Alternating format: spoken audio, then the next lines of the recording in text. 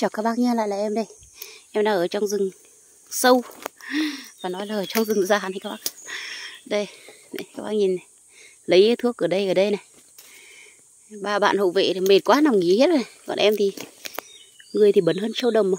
Hôm nay thì em cũng chỉ đi lấy cây um, cây mía giò thôi. Thực ra thì cây mía giò thì nó cũng Nó không phải là hiếm nhưng mà nó Cái loại mà em tìm thì nó nó phải đi vào rừng này, núi đá này. Trên phải có đá này thì em mới đấy cái này, loại mía giò của em lấy là loại mía giò tím này. Mía giò hay còn gọi là cát lối ấy, thì là một vị thuốc ờ, khá khá quan trọng tốt khá tốt trong bài thuốc thận và gan. Sỏi thận đặc biệt là sỏi thận viêm đường tiết niệu thì các bạn nên dùng cây này. Cái mía giò nó rất là nhiều công dụng. Giúp mát ờ, giúp mát thận này giúp mát gan này. Ừ, trong bài giải độc gan cũng có này trong bài thuốc uh, sỏi thận thì cũng có này. Sỏi thận thì cứ uống thôi đun uống thì nó sẽ khỏi được cái sỏi thận thì thực ra vấn đề sỏi thận với em thì nó không khó khăn gì đâu các bạn ạ. Em chỉ sợ các bác bị sỏi san hô này hoặc là những cái sỏi to quá thôi. Chứ còn những cái sỏi bé bé bình thường thì em xử lý nó rất là đơn giản mà. Đấy. đặc biệt cái củ mía giò này khi mà các bác dùng các bác nam giới dùng ấy các bác có thể ngâm rượu dùng hoặc là các bác sắc dùng. Đấy, các bác sắc để uống thì nó giúp cho các bác mát cái thận của các bác rất là nhiều. Đấy. nó giúp mát cái thận của bác rất là nhiều và giúp uh, cho vấn đề sinh lý của nam giới thì nó cũng sẽ ừ, tốt lên. Thực ra để chữa bệnh sinh lý của nam giới em cũng chia sẻ với các bác rất là nhiều lần rồi. Chữa bệnh sinh lý của nam giới thì các bạn không thể nào lấy cái những cái thuốc kích thích cho nó để nó chỉ nó khỏe lên được đâu. Mà khi mình chữa bệnh thì mình phải chữa hết tất cả những cái nội tạng ở trong cơ thể của mình. Dạ. yeah thì nó mới à, thì nó mới khỏe được và một trong những cái vị thuốc mà dùng để sắc uống ấy thì không thể thiếu được cây mía giò. Cây mía giò nó giúp mà uh, bổ thận mà. Đây, mía giò, tiếng Tây gọi là ỏi ướng và đông y thì gọi là cây cát rồi. Uh, ờ, cây thuốc này thì cái cây thuốc này thì nó có khá nhiều. Tuy nhiên là cây mà các bạn dùng nó hiệu quả nhất là cây mía giò nó đỏ đây này. Đấy, bây giờ này nó phải như thế này này, gốc nó phải tím thế này. Còn có một loại trắng nó to ở bờ suối bờ khe kia thì em cũng không không không dùng. Bản thân em không dùng thì em sẽ không chia sẻ được chưa ạ. Bản thân em không dùng thì em không chia sẻ cho các bác thôi. Chứ còn nhiều bác thì vẫn dùng. Em nói thế thì lại bảo là không dùng được thì lại nhiều bác um, thầy thuốc thì bảo là ta dùng quen rồi đúng không? Đấy, thì lại ờ, bảo mày cứ nói thế này thế kia nhưng mà không phải đâu. Đấy là quan niệm của từng người thầy thuốc thôi các bác nhé đấy, các bác phải biết là quan niệm của người thầy thuốc người thầy thuốc người ta thế này người ta đi bốc thuốc và người ta thế này người ta thế kia thì do là cái quan niệm của người ta do cái kinh nghiệm của người ta thôi.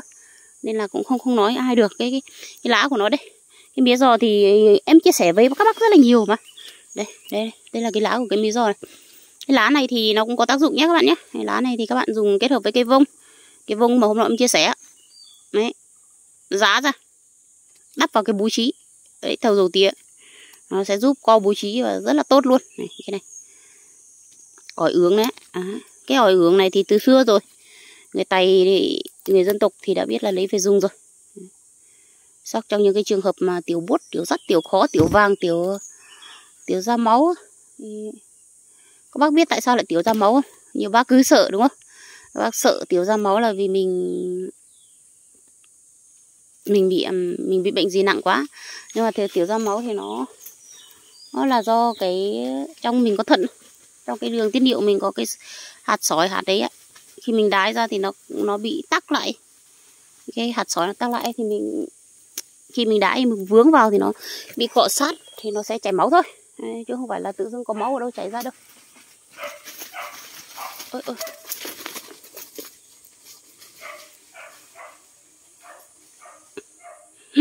cho bạn các bạn đang nằm ở đây nhưng mà không biết thấy con gì qua chắc con gì đây? Chắc có con thú gì qua đây này? Tại vì là ở đây nó cũng khá già mà rừng này nó khá già các bạn ạ. À, cho nên là chắc có con thú này chạy qua đây cho nên mấy bạn kia ngửi được mấy bạn kia đã đi đuổi rồi. Đấy em đi vào rừng già như thế mà các bác em đi vào thật rừng thật già mà lấy thuốc như thế. Ừ. đây ngoài ra thì nay chia sẻ thêm cho các bạn một cái cái vị thuốc. Um, đây này cái cây này cũng chứa trong bài thuốc uh, sỏi thận này. Khi mà các bác bị sỏi thận thì cách mà các bác uh, muốn dùng trực tiếp thì bác các bác lấy cái ống tre các bác cắm vào cái cây này. Nước nó chảy ra và các bác uống cái kia. Uống cái nước kia thứ nhất là nó giải độc gan nữa. Tuy, tuy nhiên là cái cái phương pháp này nó làm rất là khó bởi vì là cái cây mía uh, cái cây cây hoa chuối đỏ này này. Đấy. này hoa chuối đỏ thì nó sẽ như này nhé. Nó thẳng tắp lên. Cây hoa chuối đỏ mà cây hoa chuối em cây cây chuối đỏ em chặt ở bên kia em chưa được ở đây có một cây em chặt ở bên kia, cái hoa chuối đỏ mà em hay chia sẻ với các bạn là mình dùng để tốt cho sinh lý của nam giới ấy. thì là cây của nó là như này.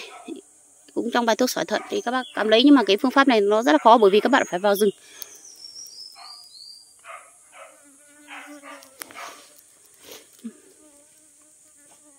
Đã đang nói nói nhưng thấy thấy mấy con chó nó sủa nhiều quá, sợ sợ có con gì nó lại chạy về phía mình. có con thú rừng là nó lại lao về phía mình cho nên là đứng lên quan sát một tí đó các bạn. Ở đây nó có thú rừng bình thường mà. Nhưng mà không có thú dữ đâu không có những con thú rất to, chắc là những con con cầy, con linh tinh thôi, nó không có con to bởi vì nó không phải rừng già lắm thì ờ, bởi vì cái cái phương pháp mà dùng thế kia nó khó bởi vì là các bạn phải vào rừng rồi các bạn phải tìm được cây hoa chuối này. Còn cây chuối này nó không có nhá, cây chuối hột này là nó không có ở ngoài đâu, nó mọc tự nhiên nó nếu mà có nó không có ở ngoài mình trồng mình trồng thì mới có thôi. Tuy nhiên là cái phương pháp ấy thì hầu như là em không, hầu như em không chia sẻ cho bệnh nhân để sử dụng và em cũng không áp dụng cho bệnh nhân. Bởi vì nó khó lắm các bạn, và chọc vào để hướng nước, nó hôm sau lại lấy thì nó khó. Đấy. còn à, ờ, cái cây này này, thì mình dùng cái hoa chuối của nó, cái hoa chuối đỏ của nó, chuối nó đỏ hoa nó hoa nó đỏ chót nhá, đi lấy cái vỏ của nó cho các bác xem.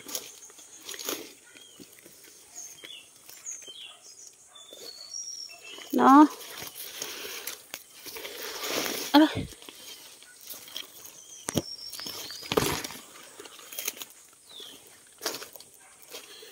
đây các bác.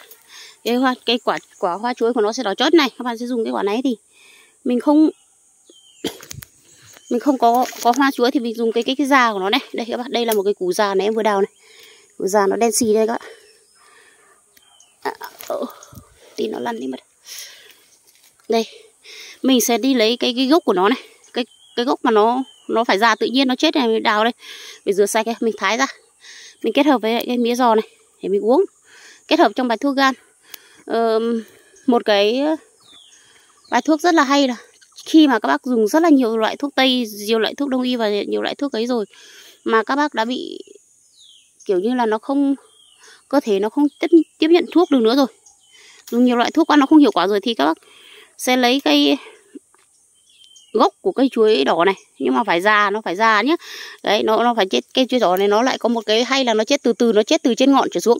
Nó chết tại sao nó nó mới hiệu quả như thế là nó chết từ trên ngọn trở xuống? Khi nó ngấm dần ngấm dần thì nó sẽ ngấm vào đây. Đấy, nó sẽ ở cái củ này. Đấy, mình về rửa cái sạch cái củ này đi và mình thái ra. Mình phơi đi phơi khô đi. Mình kết hợp với lại cái cây um, cái chắp tím ấy. Cái cây mà em hay đi lấy mà nó tím tím ấy các bạn đấy. Mình sẽ kết hợp với cây đấy. À, mình sẽ kết hợp với cây đấy. Thì ờ, để uống trong cái bài thuốc mà các bạn bị ngộ độc nhiều quá mà các bạn dùng thuốc nhiều quá nó không có ấy thì nó sẽ chứa gan chứa thận cho các bác. Tuy nhiên cái bài thuốc đấy thì chỉ chia sẻ cho các bác thôi còn nếu mà sử dụng thì phải là thầy thuốc thì người ta mới biết liều lượng cho các bác. Mà cái này không uống nhiều nhé các bạn nhé nó chát nó chát này nó chát thì nó chát thì các nếu mà các bạn uống liên tục là không được. Các bác phải uống có mức độ thôi có liều lượng thôi. Cho nên là chỉ chia sẻ cho các bác thôi. Còn cái bác các bác mà muốn dùng cây này thì đơn giản thôi. Đấy, các bác chỉ cần vào thấy cây hoa chuối đỏ này các bác mang về các bác luộc ăn các bác hầm ăn hoặc là các bác thái ra. Các bác phơi cô các bác sắc nước uống được ạ. Cả cái quả của nó đây là rất là tốt đấy một cái loại chuối đỏ này này. Ờ, có một số nơi là không có đâu. Có một số nơi thì nó không có chuối đỏ này đâu. Chuối rừng thì nó có nhiều nhưng mà cái chuối đỏ này này pi khẻ tiếng tay gọi là pi khẻ này. Đỏ chót này các bạn. Ừ, vậy thôi em chào các bác nhé chia sẻ với các bác vậy thôi.